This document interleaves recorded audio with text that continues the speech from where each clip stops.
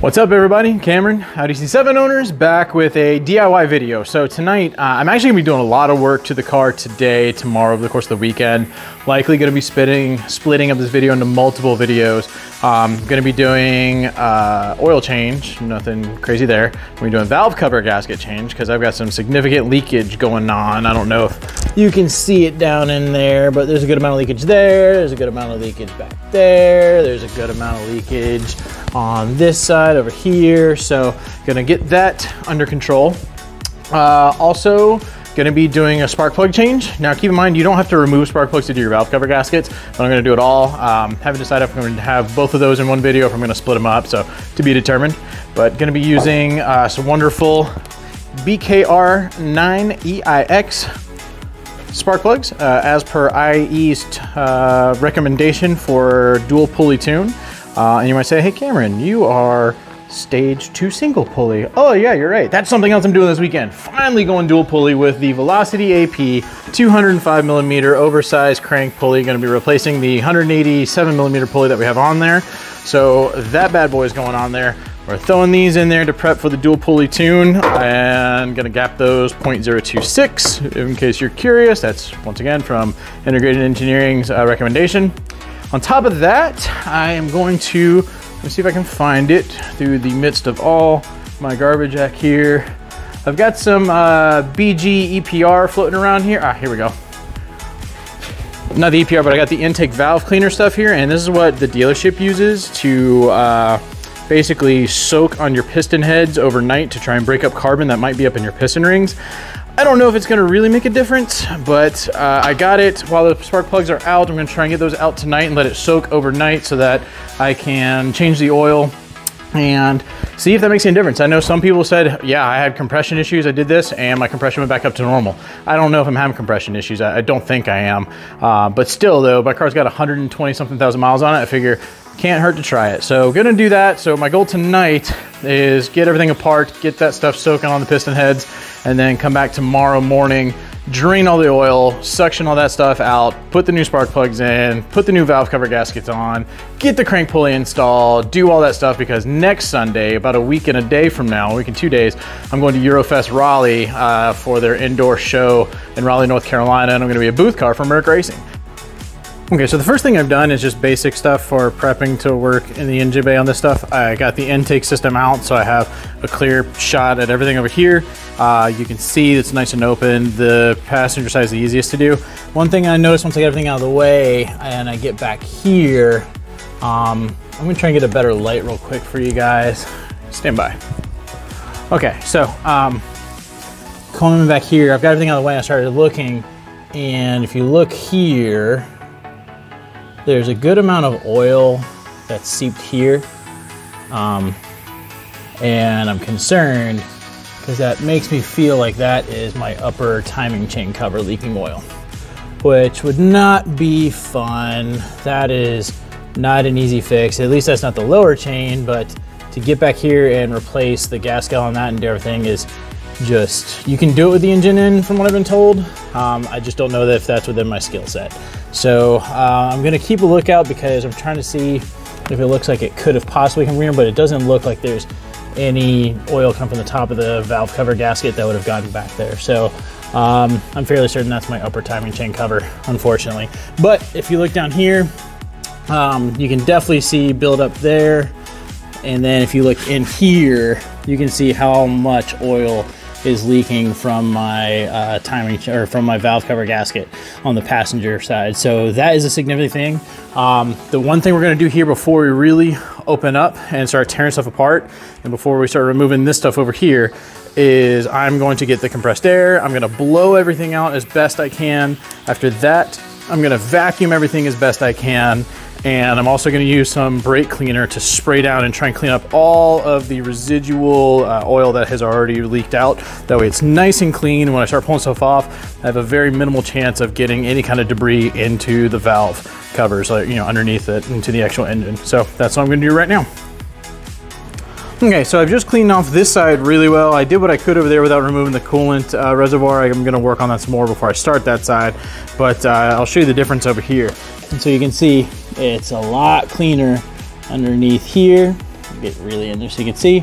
And then I cleaned off the top of the engine here so that I can monitor and see how much oil I'm losing if I am losing it from the timing chain cover here. So um, hopefully that's just maybe spilled oil or something from a previous job. Let's keep our fingers crossed and hope that I don't have to deal with that. But uh, I'm gonna go ahead and start to do some of the work here, start pulling this stuff off. What I'm probably gonna do is go ahead and go over there and I'm gonna remove this and I'll show you guys how to do this. I'll probably show you guys how to do this whole job on this side because it is the most difficult side. If you can do this side, then this side is a walk in the park here. So I'm gonna work on that side. All right, so my plan, I'm hoping that I can just get this loosened and pulled up and out of the way so I don't have to drain it out and completely remove it.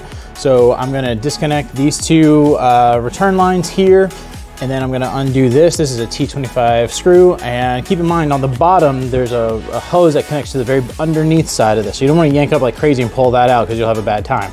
And then you also have your coolant level sensor right here. Uh, so if you do have to remove it, you're gonna have to remove this and then drain this out with some kind of sump pump, some kind of hand pump, and then disconnect it from the hose. So first, we're just gonna try and loosen it and see how much play we can get with it.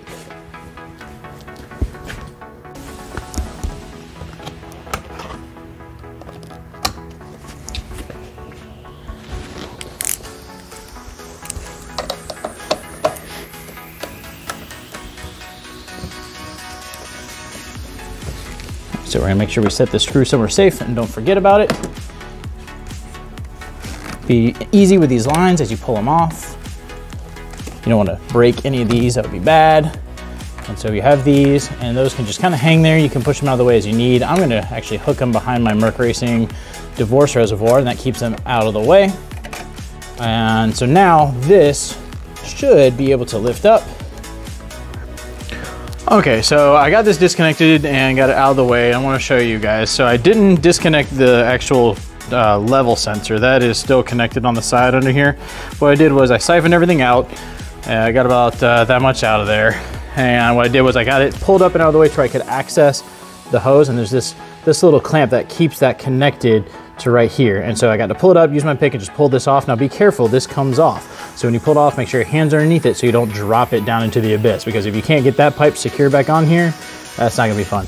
You can see there's coolant here. When you pull it off, you're gonna have coolant go down there. It's just nature of doing something like this. I got coolant everywhere. It's sprayed over here when I flicked a hose. So I'm gonna have to clean this up one more time with a little bit of brake cleaner, which is no big deal. I'm probably gonna siphon just a little bit more uh, coolant out of there so if I hit it, it doesn't accidentally spray, especially when this uh, valve cover gasket is open. I don't wanna get coolant in there on accident. So I'm going to siphon that out a little bit more and then shove a paper towel in there. So I'm gonna do that and get to working on removing uh, all the good stuff before we get to the valve cover. Okay, so the next step, uh, whether you're doing valve cover gaskets or just spark plugs or even just changing your coil packs, is to uh, remove your actual coil pack wiring harness. So one, two, three plugs. You got one, two screws here. Um, the one thing that people would mess up in the Volkswagen Audi world are the plugs. Okay, the, these things, they think that these holes here to put something in and pry it out, and then they end up breaking it. Same thing with this, uh, they, they mess this up. And these are actually really, really simple. So um, one thing I need to do, I need to undo these first, and then I'll show you how to do that. So stand by, getting ahead of myself a little bit. Okay, so these screws are T20s.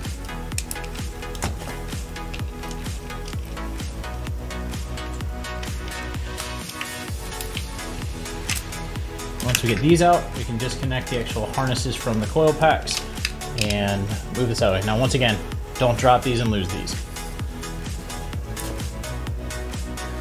Okay, so the trick to almost every single Volkswagen Audi wiring harness, if it if it doesn't have an obvious pull tab, what you're gonna do is you're gonna push forward on the actual, like you're gonna take this, like right here, we're gonna push up this way. You're gonna push up and then you're just gonna press down and then it should pull off after that. That's it. Now on these, another one, for these in particular, you can get this here, and you can just lift this tab up and get it off there. That's what you can do for these, but it's helpful to know the correct way to use and remove Volkswagen Audi plugs. Super, super simple once you know what you're doing. All right, the final step we're gonna do with this wiring harness is we're going to detach it from the valve cover, or from the valve cover, which is just clamped right here, and then we're gonna remove this uh, sensor here. This is one of our, one of our um, basically intake temperature sensors for the uh, supercharger. The way this one works is a different little tab. You have this little gray thing. You pull it lightly, then you push on it, and it will release. So you have that, and then now this should just pop off of the valve cover gasket like that. And that's gonna give us just a little bit of extra wiggle room to have this and to be able to move this around as we start to get to stuff, okay?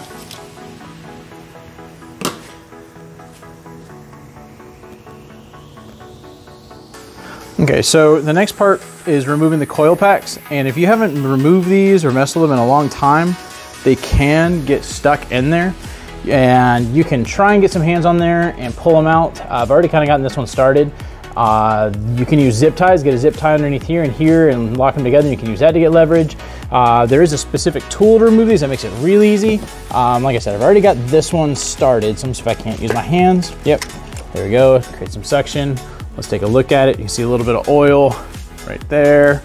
Um, not too bad though, so that's good. We're gonna set this out of the way. But a way that I use to do this, and you just be really gently, eh, or really gentle, is I use a long wrench. This one's a 16 millimeter, and I'm gonna find a spot that I can get underneath the coil pack, and then just move the wiring harness out of the way. I'm just gonna pry it out and get it started, and then I'll use my hands from there.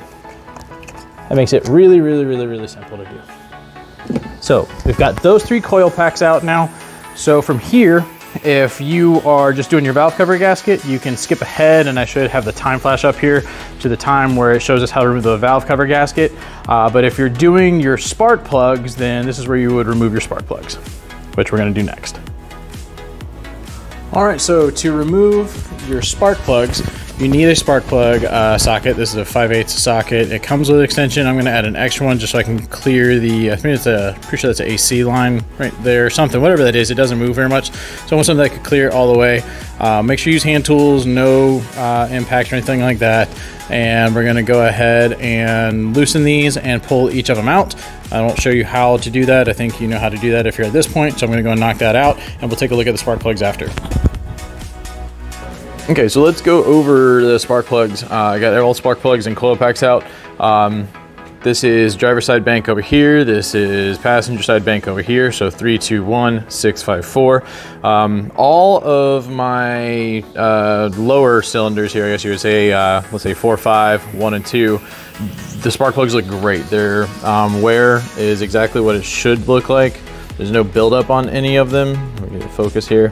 They've all got that kind of just slight yellow brownish on the side electrode and the center electrode looks good. Uh, there is a little buildup in the threads here from oil seepage and that's from my valve cover gasket being shot. So I've got all that in there. There's no oil fouling on here, which is really surprising to me considering how much oil I'm burning, but that might just lend weight to the fact that I might be burning it out of my exhaust valve stem seals, but that's a other video for another day. Um, three and six have a little bit of ash fouling buildup on those. And you can kind of see it there. That's that kind of like flaky stuff building up. Let me show you three. And that could be potentially from additives, but for my car, and with the help of Facebook group, um, I remembered this.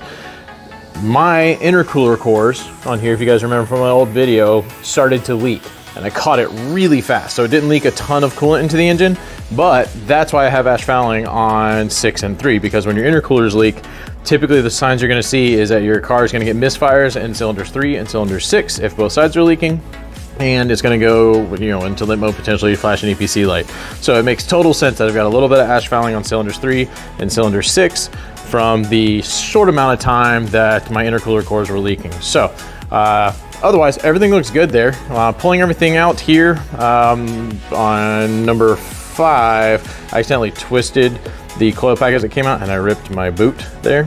So I have to replace that. I should have some replacements laying around here somewhere, but if not, I know some guys in the local club will have a replacement for me. So that's just a small thing, just the boot got torn. I'm gonna have to replace that. But uh, otherwise, I'm going to move on with doing the rest of my work today. I'm doing a whole lot of stuff, but if you're just watching for the spark plugs, you can skip ahead now to whatever time I'm going to show somewhere in this video, and that's going to be the reassembly of the spark plugs. We are about to start removing everything off of this valve cover to get the valve cover uh, off, so we're gonna start to unscrew stuff and whatnot. But first, uh, a couple things. One, this is a vent hose that goes to your uh, PCV. And what happens is this comes in and there's one on the other side and they meet in the middle to this like Y valve that connects to the back of your PCV. It is extremely brittle. And if you wreck or move it around too much, it's gonna snap, which you can see, I've got a piece of rubber hose here, but you can see my hose back here. Well, obviously you can see, it's not that. I obviously broke it here. Let me walk you over here. You can see that it is broken. Uh, I mean, as soon as I moved that valve cover uh, on the passenger side, which I did that side first just because it's easier, I want to get a little bit of practice in, it immediately cracked. Um, so Alex Kite and I myself both had the same uh, idea. As soon as it cracked, I started looking for some hose and I got some uh, rubber hose that literally fits on there perfectly. And I'm hoping that I just made a quick disconnect that I can push that onto. Uh, we'll see how that works. He's running it and apparently it's been working okay for him. But Shout out to Chris Pinetta, I think it's C Pinetta97 on Instagram, who sent me a video of this rather random dude doing a trick. And I'm gonna show you guys that we're gonna get this thing off of here using a snipped piece of hose clamp. Some of you may have seen this trick, others not, but uh, as you can tell, I cut down a piece of hose clamp, kept the curve, and I'm gonna show you what I'm gonna do to hopefully use this and remove that uh, vent tube without breaking it. The first thing we're gonna do is we're going to take this thing and we're gonna try and get one of the corners up underneath this part of the uh, hose clamp or the vent hose. Now, there are pieces that come down and kind of wrap around here and those have broken off a long time ago. So we're gonna take this, we're gonna push it up underneath here, try and get the whole thing started, and then we're gonna use needle nose pliers. We're gonna grab this lip and grab this and try and shove it up underneath there. Once it's up underneath there, it should break most of the seal uh, for about half of it, where we can use some channel locks and pry it off. So that's the idea behind it. So we're gonna give it a go and see what happens.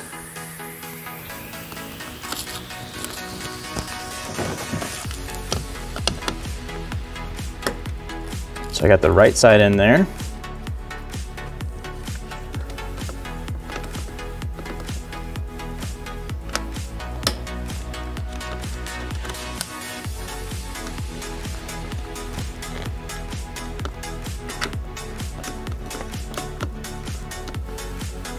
It's a little tricky to hold this on here and push it up.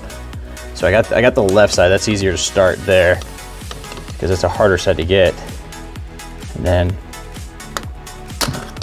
and what I'm doing is I'm pulling down on this while I'm trying to push this up. And yeah, I'm gonna probably scratch my valve cover gasket a little bit, but I'm not terribly worried about that. You definitely don't wanna break anything. Some angled pliers would be really good right here, but I don't have those.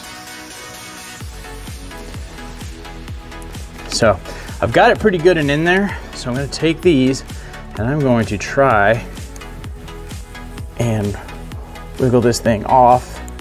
It seems to wanna come off, it's loose. It's definitely moving more than it has.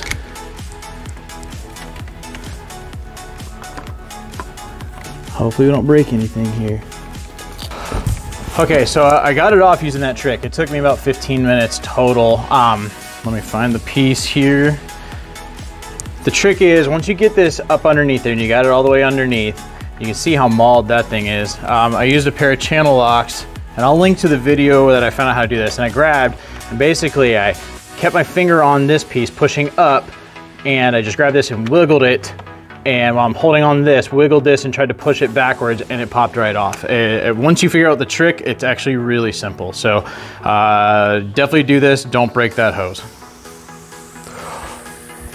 All right, so we're at the point where we're gonna start pulling off the last few things before we actually pull off the valve cover gasket. Uh, we've already blown out and vacuumed and cleaned as best we could, but we still have some stuff here. Uh, you've got this uh, line right here. I'm pretty sure it's a fuel line and we need to we just pop out these clips and then we're gonna remove these two screws. There's two Torx screws to remove this little plastic cover here, which if you've replaced your supercharger, you know what I'm talking about. That's another area that stuff can get trapped in. So before I open this up, I wanna make sure I can get all the dirt possible out. So I'm gonna go ahead and remove that, vacuum it, and then after that, I think it's time to go ahead and pull off the valve cover gasket, or correction, the valve cover. These screws are T25 in case you were curious. Once again, be careful not to lose these in the engine bay.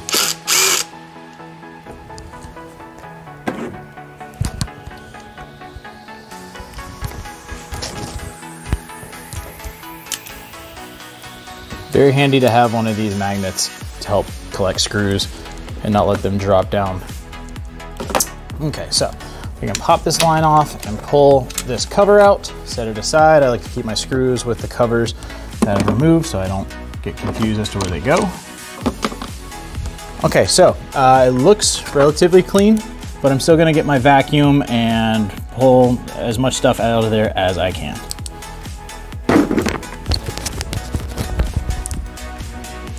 It's time to start removing uh, the screws that hold on the valve cover. So you got one, two, three, four on top, you got four on bottom, and then you've got one, two, three across the, uh, actually you got four across the middle as well. So it goes one, two, three, four, one, two, three, four, and then four on the bottom. The most tricky one is the bottom right corner, and I'll show you how I get to that one. This side is more difficult than the passenger side because we have a lot more obstructions. We've got this line here, we've got this hard line that is pretty much impossible to move, and then some other random stuff over here, but it's not too hard. You just take your time and don't damage anything. Ooh, make sure we get the right one. These are T30s.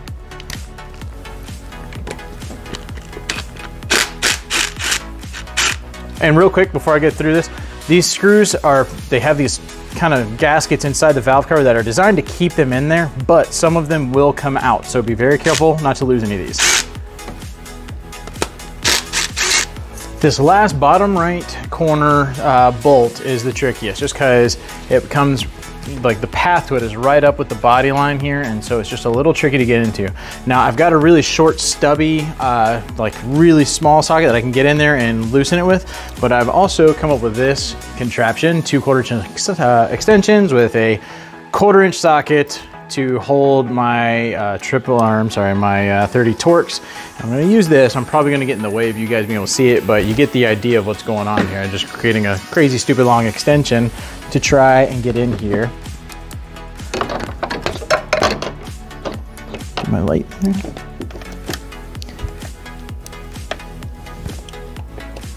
All right, I'm in. And it's good. Then what I can do, I take that off and I've got my little hand adapter here and I can do this all by hand way out here and that made it really, really, really easy. And this will also allow me to get it back in really, really easy. This came in really handy on the other side because on the other side there's more obstructions for this corner bolt. I taped it up as well so I wouldn't drop it because these things have a tendency to come out. So that is completely off. So now it's time to remove the valve cover. I'm not gonna wear my mic while I do this because I wanna be able to pull this off and walk away with it. But uh, once again, do one last check. Get anything that uh, can move and get in the way out of the way as best as possible. Make sure there's really nothing that can slip and fall down into the engine. Um, I've got our PCV hose disconnected. When you pull this off, it is gonna probably be nice and sealed on there. Like right now I can't pull it off, so I'm gonna get something to pry it up from here to break the seal and then it should come apart pretty easily. That's what happened on the other side. And as you pull it off, just take your time, go slow, don't break anything, don't drop any of the bolts, and take your time and you should be good.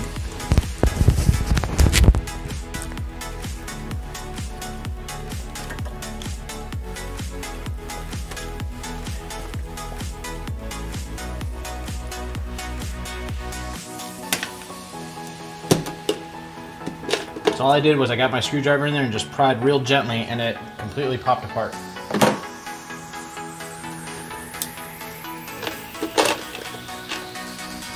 so it's completely off. I think the best way to get this out is to go this way with it.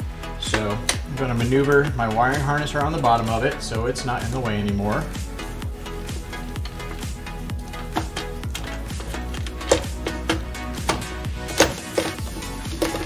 Trying to do my best to make sure I don't break that stupid pipe because I've already got to deal with it on the other side.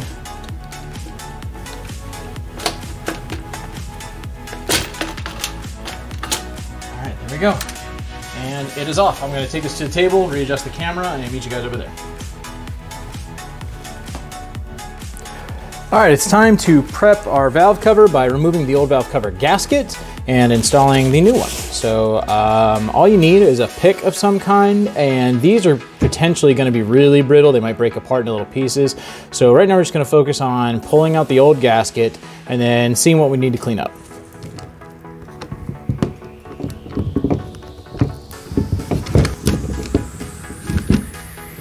Okay, so we got all of the old gasket off. What you wanna do as soon as you're done with that is start going through and looking to see if there's any little pieces that may have gotten stuck in there. Um, you're gonna find some residual oil, and that's totally fine in there. You don't need to worry about getting every little bit of oil out from in on top there. Just kind of running my pick along to see if it grabs any plastic that I missed, any seal. And what I'm gonna do is I'm gonna come over here with my vacuum and I'm gonna vacuum out the, all the channels just to be safe. And then we can work on putting the new uh, valve cover gasket on. Okay, so now it's time to put on the new valve cover gasket. When you buy these, there is a right and left side according to the dealership. Uh, so make sure you get them to tell you which one is which on the part number, what I was told is that when the last few numbers there, when it ends in an odd number, that's the driver side. If it ends in an even number, that's the passenger side. But when you get these, they can only go on one way. So lay it out in which the way you want, there's a thin piece that's that's long here on the bottom, that goes down. You want the wide flat piece on top. That's what needs to mate with your engine. So line it up here, see if it makes sense. This one does not, so we're gonna it around. And there we go. It only goes on one way. And the good thing is these hold on to themselves. So all these little round things get pressed around these fittings that are in the valve cover gasket. So you want to press them down in there and get them around that. You might have to push up from the bottom, like I'm doing here. You push in on the screw and it'll push it through here, and that's what holds your valve cover gasket in, which makes it really nice when you're putting this back onto the car because it won't fall out, hopefully. So I'm going to take some time and do this, get this back in, and be right back. The new gasket is on. I've got, oops, sorry about that. I've got everything pressed on there. I went around and pressed up on each screw to push that fitting all the way through because that goes and that helps hold that gasket in place while we maneuver it back onto the engine. And that's what we're gonna do. We're gonna go get this back onto the engine and get it in place. I almost forgot to tell you about this. Before we put the valve cover on with the new gasket, we need to clean the surface of the engine where the old valve cover was. You need to make sure there's no residue there, no oil sitting there. So what I'm gonna do first is I'm gonna take some brake clean and just a blue towel, and I'm gonna spray the towel and wipe it down. I'm gonna try my best to wipe everything away from the motor. So I'm gonna do this, then we're gonna reassess and see what is left on the surface of the engine where this gasket is gonna mate to it. Don't use anything that shreds apart really easily then gets into the motor. That would not be good because you'll be fishing all that stuff out. I don't have my microphone clipped to my chest here, so I'm just letting you know it's time to put the valve cover back on. Uh, luckily, none of my screws actually came out, which is nice. So what I'm doing is I'm kind of tapping them all down to make sure they're as low as possible. do my best as I put this on to not let them fall because there's a lot of stuff to kind of traverse. So just take your time here, go very slow, make sure you don't break anything, make sure you don't let the seal fall out of place, make sure you don't lose any screws.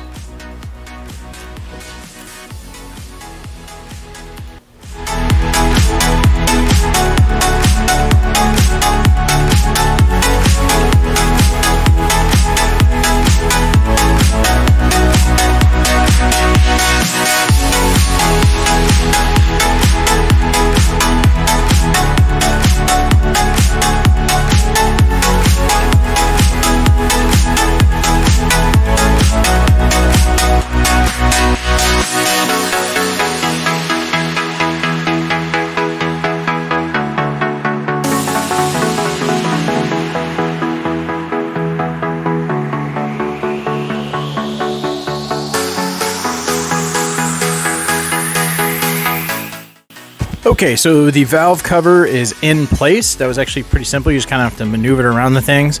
Um, now we're just going to sink these down without torquing them because we got to torque in a certain sequence uh, starting from the inside out I believe and we'll consult the e-manual that I've got uh, to tell us exactly what to do and I'll put that information in the video but that was actually pretty simple going in there so I'm gonna go ahead and get these down and we'll check out the torque settings and get this knocked out. So one thing that has helped me a lot recently, you guys, is I got a full e-manual catalog on doing work for the C7.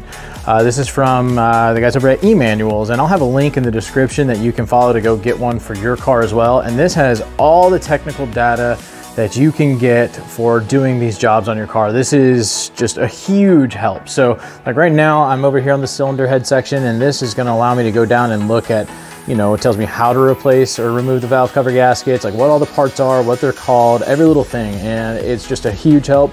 It's really cool because when I load it up in the PDF, I can go over here and it's clickable. So the table of contents, I could click on it, it took me over here to the cylinder head and then here, cylinder head cover, removing and installing. That is, cylinder head cover is your valve cover. So if I click that, it brings me down to this section. And what's great is it tells me the sequence for removing, or even more important, installing and torquing the actual valve covers. So it's, it's really great. It tells me the torque specs, so it's nine Newton meters, and it tells me the direction. So you start on the inside and we start one, two, three, four, five, six, seven, eight, nine, 10, 11, 12. And that's really important that you do it in that order. And I'll have this picture hopefully blown up and on the video for you to see before we get into actually doing it. But yeah, uh, this is, I think, $30 for the whole catalog. And if you're doing this stuff at home, this is a huge, huge help. So check out the link in the description.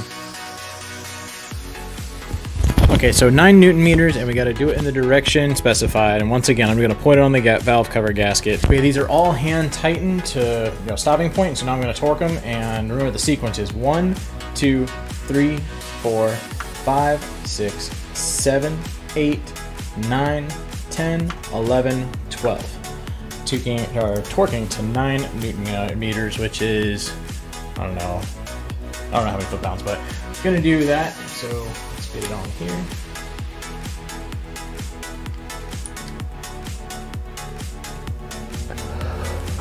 We have our valve cover fully secured now. So the last step to completing this process, uh, if you're doing spark plug, is to put the spark plugs in.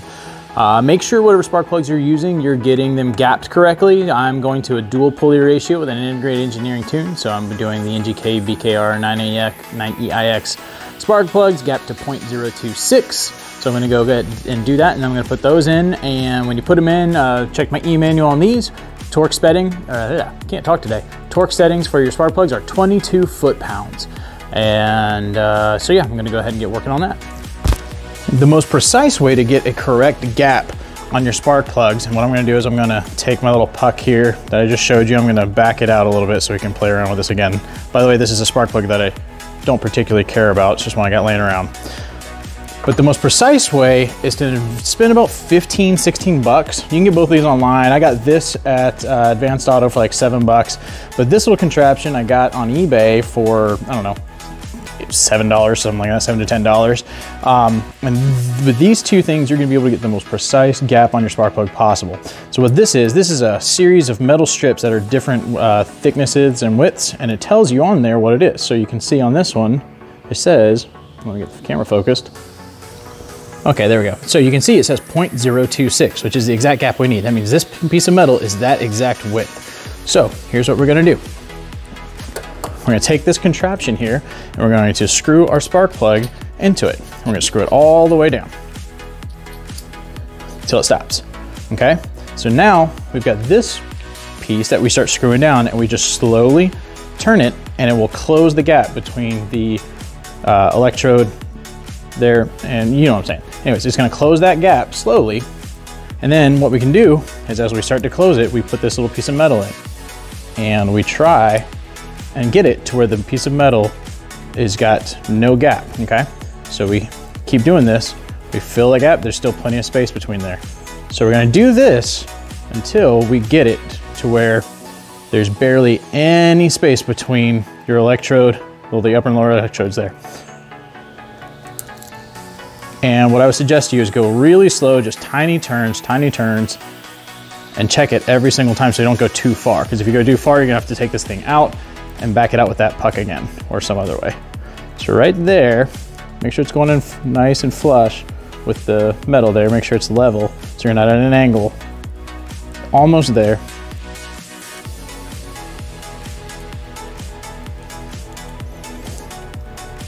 There we go. There's barely any space. There's no space between the upper electrode and lower electrode, so that is a 0.026 gap. That Before we install the plugs, we're gonna put just a little dab of dielectric grease on here to prevent any kind of corrosion. Um, actually, I put it on the wrong spot there. Quite that clean. We just wanna put it on the ceramic part and rub it around there. Just a really thin coating, doesn't take much at all. All right, we've got our spark plugs coated. We're gonna put them into the spark plug socket and just thread them on by hand. We'll get them hand tight and then we'll go through and torque them down. Remember, 22 foot-pounds. Don't over torque these. If you strip that down there, you're gonna have a very, very bad day. All right, 22 foot-pounds on each of these.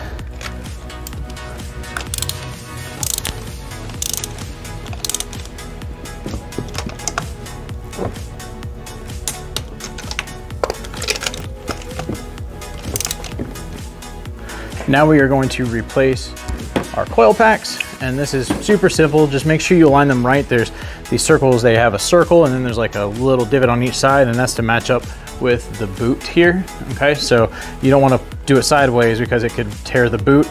So we're just gonna go in here, make sure the connector is pointing down, line it up. Once they're lined up, you just push in.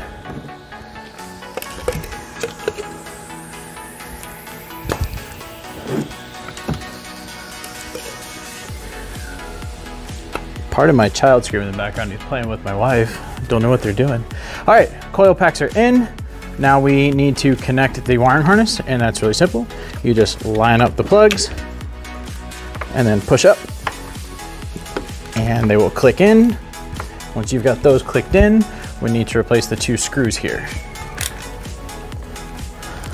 All right, we got the wiring harness connected. Now it's time to reconnect everything else that we have disconnected so that means putting this harness, clip it back onto the valve cover. There, make sure that's nice and secure. Make sure everything you have touched is nice and secure.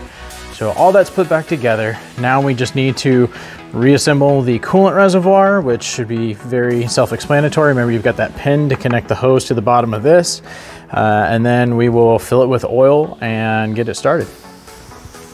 All right, guys, so that concludes our valve cover gasket and spark plug DIY video. Uh, it's really not that bad. Time consuming, yes, uh, sometimes a little tedious, but my biggest piece of advice is to just take your time. Uh, take your time, don't rush. Use that hose clamp trick to coax the, uh, what's it called, the vent hoses from your PCV off and and don't break those because if you break them, yeah, you can probably use some tape. Uh, you can use some good like gaffer's tape or even electrical tape to seal that up. I used a rubber hose and that worked just fine so far. Haven't had any issues. Um, but yeah, take your time. You'll be good to go. Uh, let's see here. The one thing I've noticed, you if you're following the channel, you know that I've got some oil consumption issues and I'm burning oil um, I've uh, also in the same weekend replaced my crank pulley and I've been just dogging on the car and I am not seeing any blue clouds of smoke at all.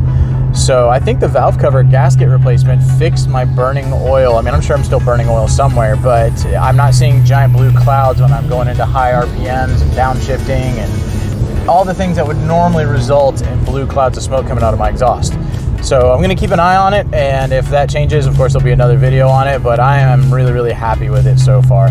Leave your comments and your questions below, and I'll see you guys on the next video.